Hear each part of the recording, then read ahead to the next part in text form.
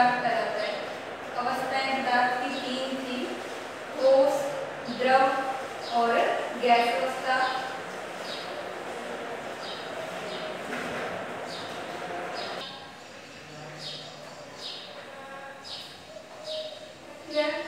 आज पदार्थ में जो अवस्था परिवर्तन है, वो किस प्रकार से होता है?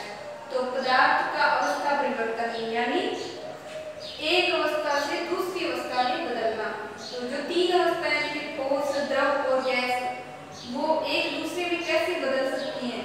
जैसे ठोस है ठोस द्रव में कैसे बदल सकता है, या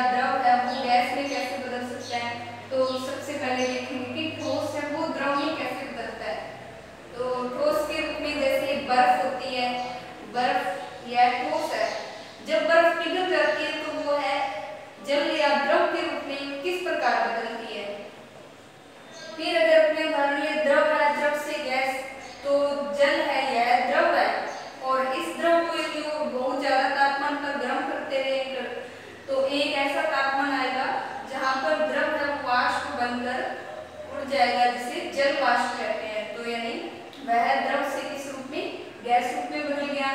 तो इसमें अपने पढ़ेंगे कि ठोस से द्रव रूप में पदार्थ कैसे बदलता है? तो जैसे पदार्थ की अवस्था परिवर्तन है उसमें किन किन कारकों का प्रभाव होता है? तो एक नंबर दे रखा है। पदार्थ की अवस्था परिवर्तन में तापमान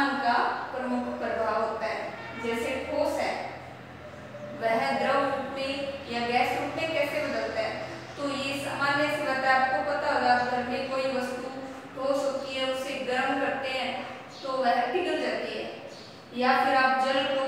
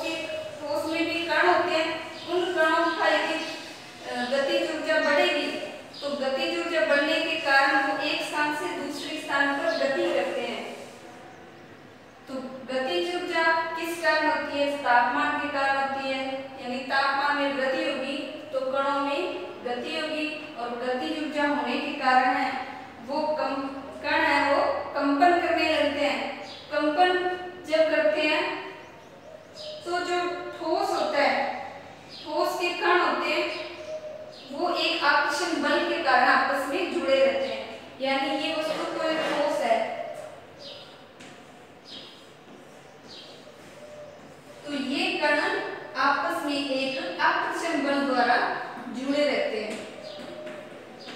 इनके मध्य एक फोर्स यानी बल लिखता है उस बल के कारण ये कण आपस में चिपके रहते हैं, जुड़े रहते हैं।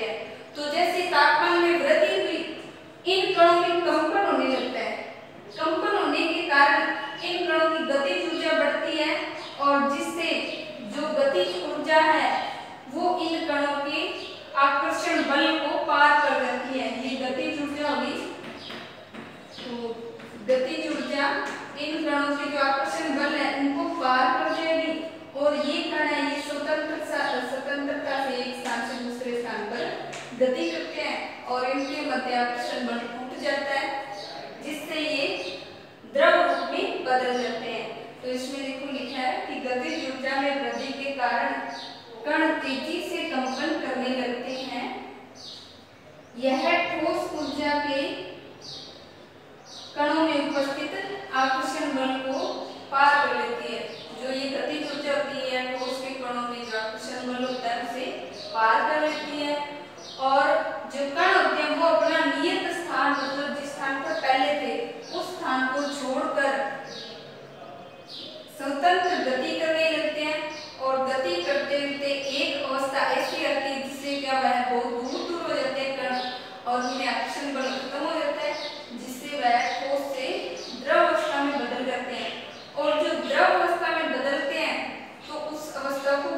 कहते हैं।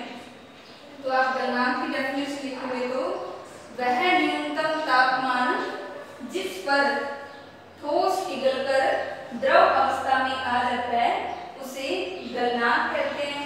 तो मतलब गलना तो ठोस का द्रव रूप में बदलना कहलाता है। तो जैसे आप बर्फ़ का बर्फ़ का क्या होता है? तो बर्फ़ का गलनांक यदि केल्विन में तिहत्तर पॉइंट एक पाँच कैलविन होता है। और यदि आप इसे सेल्सियस में लिखते हो तो सेल्सियस में बर्फ़ का गलनांक ज़ीरो डिग्री सेल्सियस होता है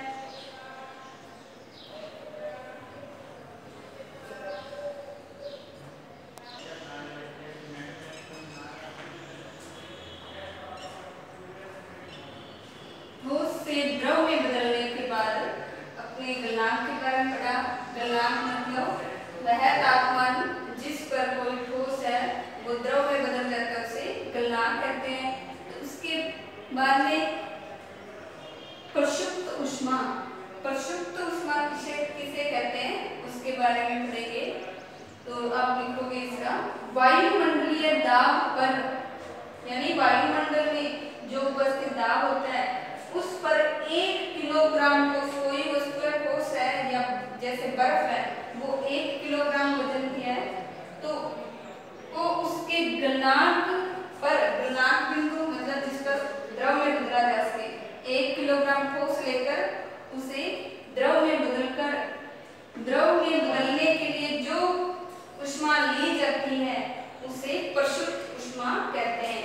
यानी इसके प्रशुद्ध उष्मा के में ये लिखोगे, वायुमंडलीय दाब पर, यदि किलोग्राम ठोस को द्रव में बदलने के लिए जो उष्मा ली जाती है, उसे प्रशुद्ध उष्मा कहते हैं।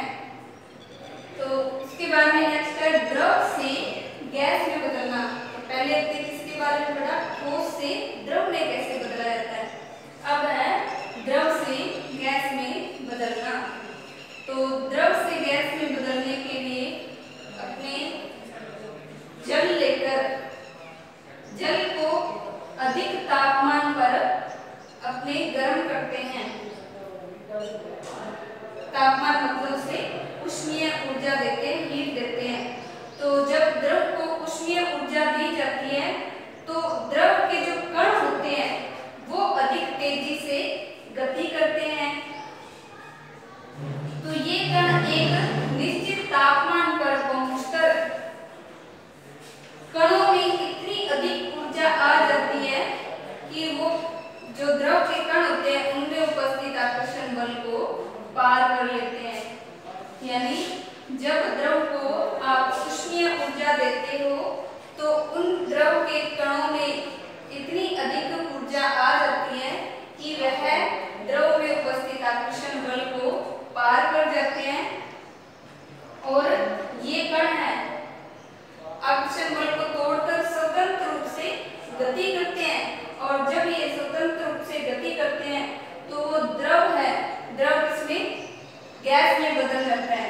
तो इस प्रकार आप द्रव को एक निश्चित तापमान पर गर्म करते रहेंगे तो वह गैस में बदलना शुरू हो जाता है।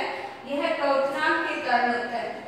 तो अब आप सोच रहे हैं कवचनांक किसे कहते हैं? तो कवचनांक की भी डेफिनेशन आप लिखोगे कि जिस तापमान पर द्रव उबलने लगता है, यानी जिस तापमान पर जल है, वह उबलने लगता है तो उसे क्वथनांक कहते हैं और जल का क्वथनांक तीन सौ तिहत्तर केल्विन या 100 डिग्री सेल्सियस होता है।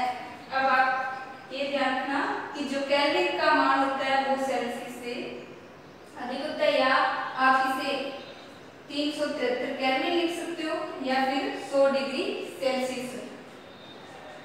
तो इस वीडियो में आज अपने प्रशुद्ध उष्मा ठोस से द्रव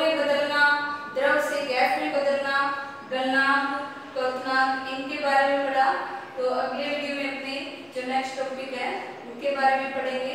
थैंक यू